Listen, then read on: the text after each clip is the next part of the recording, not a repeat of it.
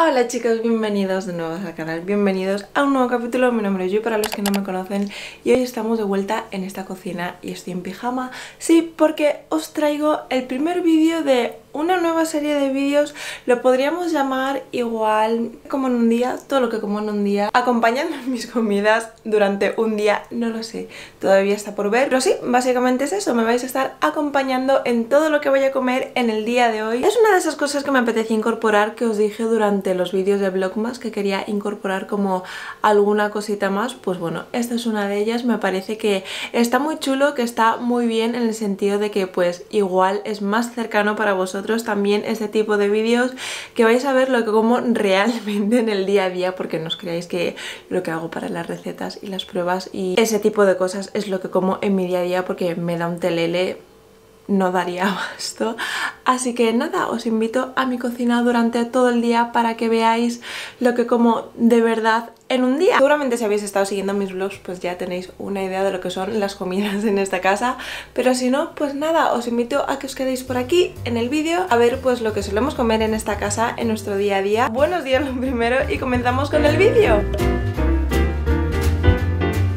Me veis con el pijama aún por aquí porque me acabo de levantar, no hace demasiado, son las 9 de la mañana, así que lo primero me voy a hacer un café porque no suelo desayunar, llevo como casi dos años sin desayunar nada, aunque luego veremos si hay desayuno o no, porque como ahora tenemos la patita de jamón, la paleta de jamón ahí fuera que la compró bien B, pues a veces le da por hacerse tostadas y me hace una, pero si es por mí. En realidad mi desayuno pues es un café y poquito más.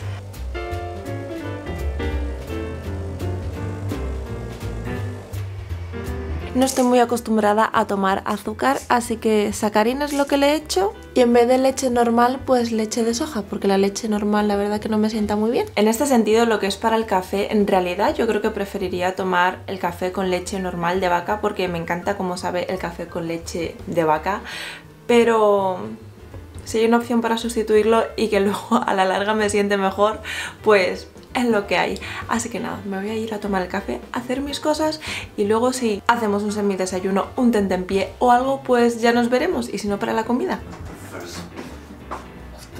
Y así es como llega el desayuno. Decidme vosotros, por mucha no hambre que tengáis, cómo nos iba a entrar una tostadita rica, mañanera, con aceite de oliva virgen extra y con jamoncito. Lo seguiré diciendo, que los que habéis seguido más sabéis bien de lo que estoy hablando. Siguen pasando los días y este jamón cada vez tiene mejor pinta.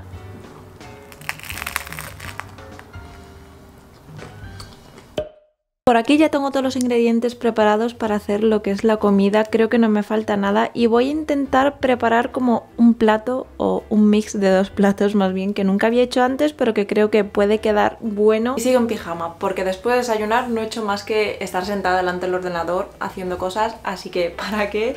Lo que voy a intentar hacer hoy es un remix entre un plato que me hacía un montón mi madre de pequeña que es a base de huevo y agua que es una especie de pudding salado flan salado, como una especie de cuajada de huevo salado, es que no sé cómo llamarlo, pero ya lo veréis, es a base de agua y huevo. Pero voy a hacer el intento como de hacerlo también con tofu y con un poco de carne picada para darle más saborcillo porque ese plato que digo yo es algo que me hacía mi madre para desayunar o se lo ponía en una comida principal o una cena, es como que había un montón de otras cosas, otros acompañamientos más. Y es que básicamente si comemos solo huevo y agua pues como que nos vamos a morir del hambre, así que eso es lo que voy a intentar hacer, ya tengo todos los ingredientes por aquí. Lo primero voy a batir los huevos muy, muy, muy, muy, muy bien batidos. Y efectivamente los huevos siempre los bato con palillos. En realidad, en general, si puedo, siempre cocino con palillos porque, no sé, odio utilizar el tenedor para este tipo de cosas. Ahora que se ve uniforme, lo voy a pasar por un colador para que no quede ningún grumillo ni ningún pegote de clara de huevo ahí. Le voy a echar más o menos la misma cantidad de agua, una pizca de sal a ojo. Y ahora pues nada, es súper sencillo. Nada más que terminar de mezclarlo bien en este cuenco que pues se lo voy a agregar al plato del tofu, que es donde lo vamos a servir en realidad. Este plato de aquí mi madre siempre lo hacía en el microondas, no me preguntéis cómo, pero lo metía al microondas y lo sacaba sin lo del tofu pero yo lo voy a hacer al vapor, así que justo por ahí al fondo tengo la olla más grande que tengo en la cocina con agua calentándose y con una rejilla puesta para poder hacer lo del vapor. Si algún día llegáis a intentar este invento, por favor cercioraros de donde vais a ponerlo a cocer el plato que vais a utilizar quepa dentro de la cazuela porque si no, no hemos hecho nada. Y mientras esa agüita se calienta, pues voy a terminar de acomodar el tofu para que esté lo más sumergido posible. Mientras espero que hierva el agua del otro lado, voy a ir calentando esta sartén también con aceite para hacer el topping de nuestro pudding con esta carne picada que ahora mismo no sé ni de qué es después de congelarlo. Yo creo que es como carne de cerdo, puede ser, porque no es tan blanco para ser de pollo ni tan rojo para ser de ternera. Pero bueno, ¿qué más da? Con cualquier carne yo creo que queda rico. Voy a saltearlo así un pelín a secas hasta que se dore. Una pizquilla de sal, un chorro a ojo de salsa de ostras. Uh, ahí, suficiente. También un poco de salsa de soja ligera. Ahora sí voy a volver a remover para que coja sabor toda la carne. Esta olla gigante ya ha roto a hervir, así que voy... ¡Uy! ¡Cuánto, cuánto humo! ¡Cuánto humo! Voy a tratar de meter aquí nuestro tofu con el huevo sin quemarme, así que voy a soltar la cámara un segundo.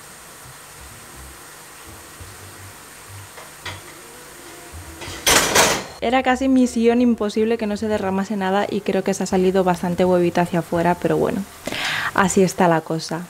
Lo voy a tapar y lo voy a dejar como por unos 10 minutos a que cuaje el huevo. Por este otro lado ya he reducido bastante la salsita, pero aún está muy líquida y a mí me gusta como un poco más espesa. Le voy a echar una mezcla de una cucharadita de estas pequeñitas de fécula de patata mezclada con agua le voy a tirar yo creo que solo un pelín para que espese ahí. Así, más o menos, suficiente.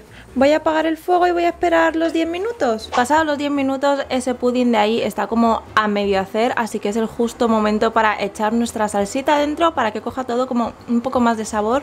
Lo voy a volver a tapar y lo voy a dejar otros 10 minutos más que ya quedará hecho. Y por aquí, en esta misma sartén, para aprovechar el saborcillo que tenía, bueno, y por pereza de lavarlo más que nada, he vuelto a poner aceite a calentar y le voy a echar guisantes y maíz para hacer un arroz como tipo tres delicias, un arroz salteado también le voy a poner la parte blanca de la cebolleta china que he picado ahí. Tenía un tupper de arroz blanco que me había sobrado de ayer y para mí lo más rico de comer el arroz al día siguiente es hacerlo salteado porque así recalentándolo sin más es como que ya se queda demasiado seco y el arroz como siempre digo es perfecto el del día anterior para hacer un arroz salteado, un arroz frito, así que eso es lo que voy a hacer. En este punto que están ya todas las verduritas como brillantes voy a echarle ya el arroz para adentro Uy, este arroz, ¿veis que al día siguiente es como que sale todo separadito, desgranadito? Pues es perfecto para hacer este plato. Un poquito de sal, remover, remover y el secreto, un chorretón de vino de arroz.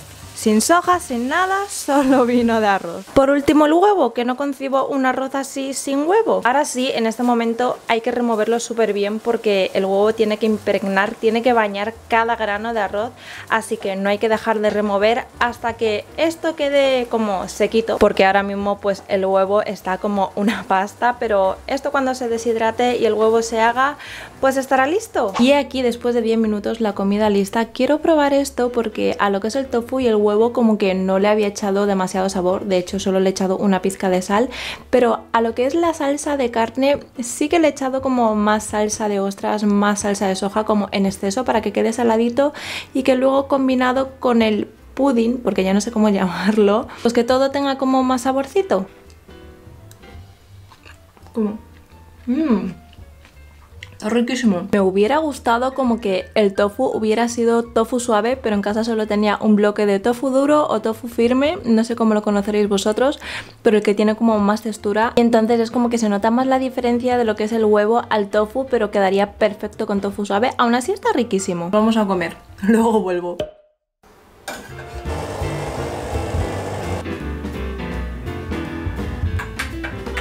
Mi merienda de la tarde, naranja mandarina. Como que cuando lo compré me apetecía comer mandarina, pero claramente en la malla fuera ponía naranja. Yo lo estuve mirando y es que tiene pinta de mandarina. Así que dije, bueno, se habrán equivocado o algo, lo cogí igualmente, pues bueno chicos. Esto de aquí tiene totalmente la forma de una mandarina, lo pelo como si fuera una mandarina, pero es increíble. Y también cuesta un demonio pelarlo. Es que está por dentro es una mandarina No sabe naranja, así que para vosotros esto es mandarina o naranja, dejadmelo abajo en los comentarios. Vamos a preparar para la cena algo extremadamente sencillo porque la verdad que me he pegado todo el día delante del ordenador, tengo los ojos ya y sigo en pijama. Obviamente no me he preocupado por cambiarme, pero para la próxima intento, prometo, arreglarme un poquito más. Para el menú de la cena tenemos jamoncitos de pollo, unos champiñones que son gigantes y he cogido las más pequeñas que teníamos y dos pimientos y ya está. ¿Os acordáis de que compramos esto de aquí en la última visita al super chino, pues bueno, vamos a estar probándolo. Cogí dos de este tipo, uno de ellos ya lo habíamos probado que era como el de para hacer pollo estilo Orlando, que está muy rico. Y luego cogí este que tengo la sensación como de que es un sazonador para barbacoas, no lo sé. De ingredientes la verdad que no lleva nada fuera de lo común, tiene azúcar, sal, comino, aceite, no, imagino que querrá decir grasa de pollo o algo así y luego cebolla en polvo y ajo en polvo y no tiene nada más. Igualmente pues tenemos que abrirlo así que voy a oler a ver qué es esta cosa. Si verdaderamente son polvitos y sazonador para barbacoa, pues bueno, tendremos una barbacoa hecha en la freidora de aire. Pues simplemente una mezcla de especias en su justa proporción. Voy a echarle por aquí a los champis un chorrito de aceite y luego a los jamoncitos también, aunque igual ni siquiera estaría haciendo falta. Lo que sí que hago siempre cuando horneo pollo o hago pollo asado o cosas del estilo, lo que hago siempre es retirarle un poco la piel, sazonarlo por dentro y luego como que lo vuelvo a poner en su sitio y lo vuelvo a sazonar para que todo tenga muchísimo sabor pero que no se le vaya la humedad de la carne y se quede también la piel crujientita. Voy a echarle una cucharadita de estos polvitos a los champis. Un toque de jugo Maggi y que sepáis que esto lo estoy haciendo sobre la marcha. No tengo ni idea de lo que estoy haciendo con esta cena de hoy. Igual un poquito de salsa de soja ya que estamos. Sal porque no le he echado mucho de la especia de la bolsa. Y pimienta negra que casi no nos queda.